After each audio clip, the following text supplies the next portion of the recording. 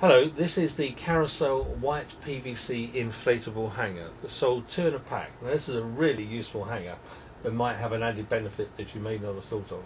It's great as a travel hanger because when you put it in a suitcase it is literally of no size and consequence whatsoever but when blown up makes, apart from being a really good hanger, it is absolutely ideal for drying knitwear that you do not want to dry in a tumble dryer.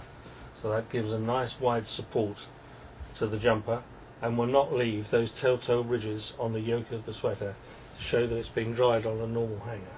Isn't that simple?